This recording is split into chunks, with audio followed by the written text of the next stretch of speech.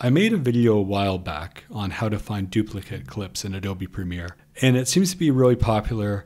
I have over 2,000 views on that video, and I thought it would be good to do an updated one just because there seems to be there's a lot of demand out there on how to find this feature. And it's a great feature, it's just kind of hidden. So I thought I'd do an updated version of this, mainly focusing on the project panel. There's a few different ways to find out if you've used a clip more than once. So what I'll do is I'll quickly recap how to find them in the timeline first, and then we'll discuss the project panel. So to activate this feature in Adobe Premiere, to find your duplicate clips, it's located here down by the wrench icon. And basically, you can just toggle on or off show duplicate frame markers. So we'll turn that on. And then every time you bring in a clip, you'll see right away it's duplicated because of this blue line here. And you can actually see also in the audio as well, it's showing as duplicated. So it works for video and audio.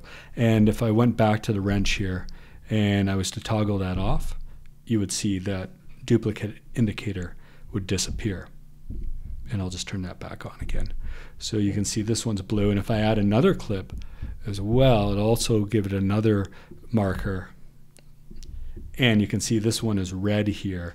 And the nice thing about this as well is it also will show you what portions of the clip has been used.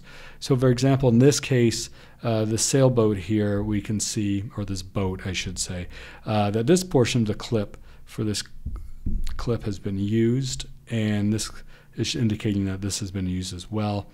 As you can see, the rest of the clip isn't marked, so we know we haven't used that portion yet. So once again, it's very simple. You know, it will show you the blue line for this clip being duplicated. It will show you a red line, for example, this clip being duplicated. And if you were to go to a third clip, same thing, it would add another line. And you can see in this case, this one's orange. So it's a really quick way to see if you've used the same clip over and over again. Now, the thing I want to focus on more in this video is the project panel you can see right here, there's a tab I have for video usage and audio usage. And that can be activated when you right click and you open up your metadata display and you go into your Premiere Project metadata. And you have all these options that you can turn on and off. And this is basically just a bunch of clip, clip info. So you can see video usage, audio usage is on, and we can toggle those on and off. So to see duplicate clips in the project panel, you want to leave these on. So video usage and audio usage tabs are now activated.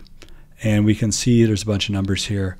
Number one, for example, for all these three clips uh, here. And they indicate how many times the clips have been used, not just in one sequence, but all your sequences in a project. Unfortunately, there's no way of kind of telling, at least I know of, how or where each clip has been used in each sequence. So it's kind of a general term. So it's kind of a general indication how many times you've used those clips in a project, not just per sequence. So even if you had two or three sequences and use these clips a bunch of time, they would only show up uh, per the project and not per sequence. Hopefully that makes sense. So for example, if I drag this clip in, you'll see that number will change to a 2. We do it again, it'll change to a 3, and that goes for the audio as well. And same thing here. As you'll see, that number will start to change, and it indicates how many times you have used those clips in your project. Also, you can see you're getting your different color bars back here indicate that that's a duplicate, this is a duplicate, this is a duplicate, and these are the duplicates over here as well. Uh, yet again, this will only show you how many times those clips have been used in a project and not which sequence they are in or how many times they've used per sequence. I don't know if that's an update that's coming in uh, future versions of Premiere, but that would be a great thing to have to indicate what sequences have what clips. Uh, but for now, it's just going to give you a general term about how many times those clips have been used per project. If you found this video helpful, please like it and subscribe to the channel for more tutorials. Thank you.